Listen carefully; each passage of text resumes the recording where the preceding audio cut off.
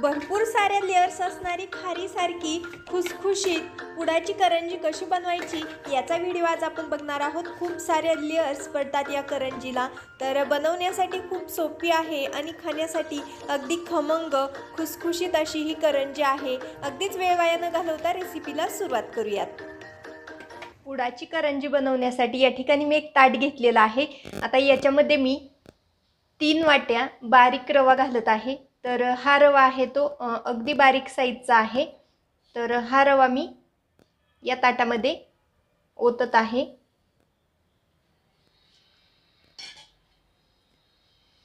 आता यामध्ये चवीकरिता मीठ घालत आहे. अर्धा चमचा मीठ घालत आहे. याच्यावरती मी या ठिकाणी साजूक तूप गरम करून घेतलेलं आहे कडकडीत. तर हे घालणार आहे मोहन याच्यासाठी. तर तुमच्याकडे साजूक तूप नसेल तर तुम्ही या ठिकाणी तेलाचा वापर करू शकता किंवा डालडा घातला तरी चालेल. तर हे साजूक तूप तीन चमचे घेतले ते घालून घेत आहे.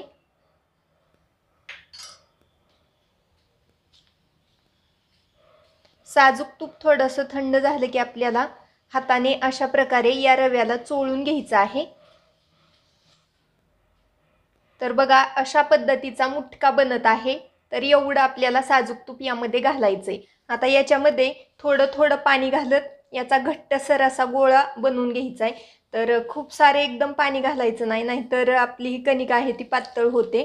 त्यामुळे अगदी थोडं थोडं पाणी घालत जेवढी शक्य आहे तेवढी घट्टसर कणिक मळून घ्यायची याची. तर या पद्धतीने मी याचा अगदी घट्टसर असा गोळा बनवून घेते. या ठिकाणी करंजी बनवण्यासाठी जी कणिक लागते ती मी बनवून घेतलेली आहे. तर बघा जेवढी घट्टसर बनवता येईल तेवढी मी घट्टसर या ठिकाणी ही कणिक बनवून घेतलेली आहे. आता आपल्याला हे पीठ आहे ते भिजण्यासाठी एका भांड्यामध्ये काढून ठेवायचं आहे तर साधारणपणे कमीत कमी अर्धा तास हे पीठ आपल्याला भिजण्यासाठी ठेवायचं आहे. याच्यावरती झाकण ठेवायचं आहे. करंजी बनवण्यासाठी जे सारण लागतं त्याच्यासाठी कोणकोणतं साहित्य लागतंय ते बघूयात. तर त्याच्यासाठी मी या ठिकाणी बघा खारका घेतलेल्या होत्या. त्या खारकांमधलं बी काढून खारीक थोडीशी बारीक करून ती मिक्सरवरती अशा प्रकारे त्याची पूड बनवून घेतलेली आहे. तर ती खारीक मी एक वाटी पूड घेतलेली आहे. त्याचबरोबर सुक्या खोबऱ्याचा किस घेतलाय एक वाटीभर. या ठिकाणी एक वाटी पिठी साखर घेतलेली आहे. पिठी साखर कमी जास्त करू शकता. एक वाटी मी या ठिकाणी बारीक रवा घेतलेला आहे. हा रवा मी पाव वाटी साजूक तुपामध्ये छान असा लालसर बघा अशा पद्धतीने भाजून घेतलेला आहे. त्याचबरोबर वेलची पूड मनुके ड्रायफ्रूट्सची पूड घेतलेली आहे. यामध्ये काजू बदाम आणि पिस्ता. या ठिकाणी खसखस घेतलेली आहे. ही खसखस भाजून अशा प्रकारे बारीक करून घेतलेली आहे. खसखस ही आपल्याला सारणमध्ये आवरुजून घालायची आहे. त्यामुळे सारणला खूप छान सुगंध येतो. सारणची चव आहे ती खूप छान लागते. तर आता हे सर्व जिन्नस आपल्याला एकत्र करून घ्यायचेत. त्यासाठी मी मोठा बाऊल घेतला या ठिकाणी. तर याच्यामध्ये मी खारीक घालत आहे.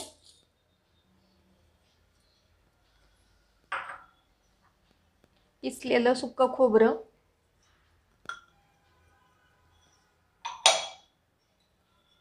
भाजून घेतलेला रवा.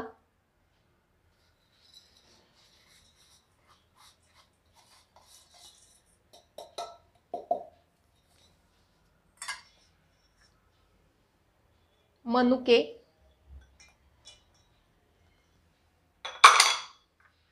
ड्रायफ्रूट्सची पूड. खसखस पूड. वेलची पूड. आणि पिठी साखर.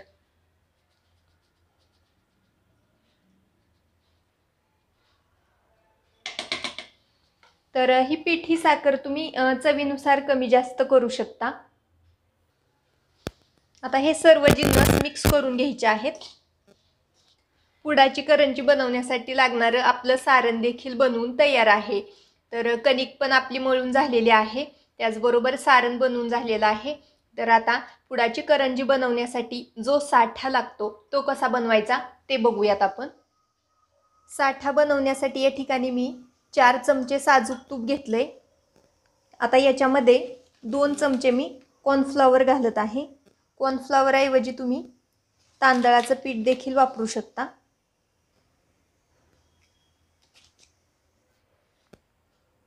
आता हे छान असं मिक्स करून घ्यायचं आहे ट्रान्सपरंट होईपर्यंत.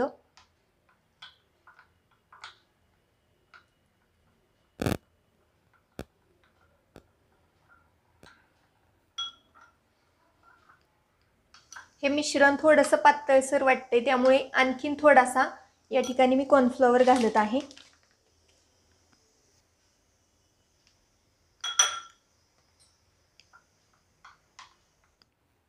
या पद्धतीने अशा प्रकारे हा साठा मी बनवून घेतलेला आहे.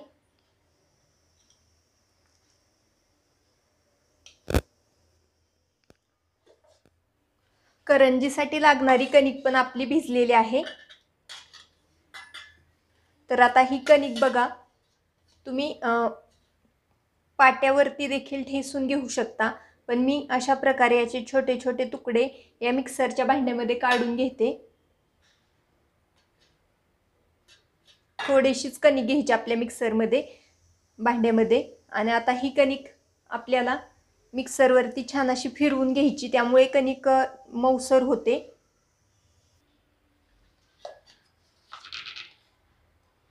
कणिक मिक्सरवरती फिरल्यावर बघा अशा पद्धतीने अगदी मऊसर होते. त्यामुळे मिक्सरवरती थोडी थोडी कणिक आपल्याला अशा पद्धतीने फिरवून घ्यायची. तर या पद्धतीने मी सर्व कणिक मिक्सरवरती फिरवून घेते. सर्व कणिक मिक्सरवरती छान अशी बारीक करून घेतलेली आहे फिरवून घेतलेली आहे. आता याचा मस्त असा आपण गोळा बनवून घेऊया. छान असा गोळा बनवून घेतलाय. त्यानंतर या कणकेचे असे चार गोळे करून घेतलेत चपातीच्या आकाराचे. आता यातला एक गोळा आपल्याला लाटण्यासाठी घ्यायचा आहे. तर बाकीचे गोळे असेच झाकून ठेवते जेणेकरून ते वाळले जाणार नाहीत. आता या पद्धतीने याची लाटी लाटून घ्यायची पातळसर अशी एकसारखी.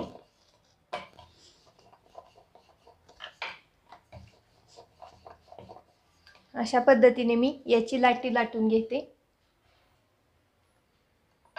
या पद्धतीने मी पातळसर अशी याची लाटी लाटून घेतली. तर आता ही लाटी आपण बाजूला काढून ठेवूया. तर ह्या लाटीला रवा असल्यामुळे थोडेसे क्रॅक गेलेले आहेत. तर क्रॅक गेले तरी आपण करंजी करताना ह्याची जी मोठी लाटी लाटणार आहोत त्याच्यामध्ये हे कट करून निघतं. तर अशा पद्धतीने उरलेल्या गोळ्यांच्या देखील मी लाट्या लाटून घेत आहे. या पद्धतीने मी सर्व लाटे आहेत त्या चारीही लाटून घेतलेल्या आहेत. आता याच्यावरून आपल्याला जो बनवून घेतलेला साठा होता तो घालायचा आहे. तर हा साठा आपल्याला सर्व ठिकाणी लावायचा आहे लाटीवरती.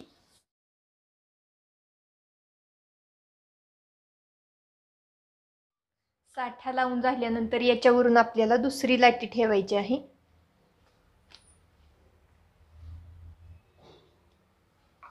त्याच्यानंतर पुन्हा साठा लावायचा आहे. तर अशा पद्धतीने चारही लाटे मी एकावरती एक साठा लावून ठेवून घेत आहे. सर्व लाट्या एकावरती एक ठेवून झालेल्या आहेत साठा लावून. तर वरच्या बाजूने देखील साठा लावलेला आहे. तर आता एका बाजूने अशा प्रकारे याला फोल्ड करत जायचं आहे पूर्ण लाटीला.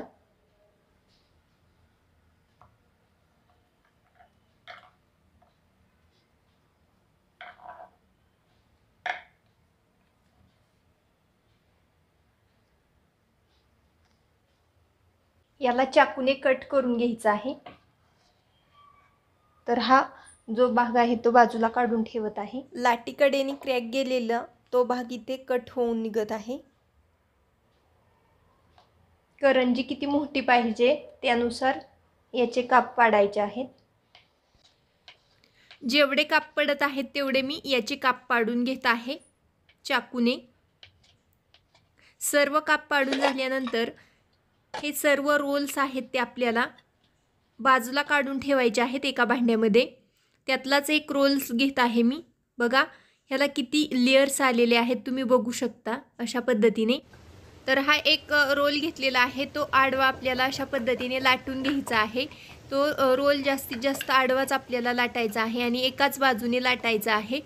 तर जी त्याची पाठीमागची बाजू आहे ती करंजीच्या वरच्या बाजूला येणार आहे. तर आतल्या बाजूने आपण ज्या बाजूने लाटी लाटलेली होती त्याच बाजूने आपण जेवढं सारण बसत आहे तेवढं घालूया. आणि कडेनी अशा पद्धतीने त्याला चिकटण्यासाठी पाणी लावायचं आहे थोडंसं. आणि अशा पद्धतीने हे सारण या करंजीमध्ये आपल्याला सेट करून घ्यायचं आहे. करंजी छान अशी आपल्याला पॅक करून घ्यायची आहे. दुसरी देखील करंजी कशी बनवायची ते मी तुम्हाला दाखवते. हा रोल आपल्याला आडवा अशा पद्धतीने लाटायचा आहे एका बाजूने. रोल एका बाजूने लाटल्यानंतर त्याच बाजूने आपल्याला याच्यामध्ये सारण घालायचं आहे. कारण पाठीमागच्या बाजूला जास्त लेयर्स असतात ती करंजीच्या वरच्या बाजूला येतात आणि आपल्या करंजीला खूप छान अशा लेयर्स पडतात. तर सारण भरल्यानंतर अशा पद्धतीने थोडंसं पाणी लावून हे आपल्याला पॅक करून घ्यायचं आहे अशा पद्धतीने. जास्त प्रेस करायचं आहे जेणेकरून आपली करंजी तेलामध्ये फुटत नाही. तर अशा पद्धतीने बघा. तरी या पद्धतीने मी उरलेल्या सर्व करंज्या आहेत त्या बनवून घेत आहे. तर करंजी तळण्यासाठी या ठिकाणी मी तेल छान असं लो टू मिडियम गॅसवरती कडकडीत गरम केलेलं आहे. तर एकदम हाय गॅसवरती तेल गरम करू नका.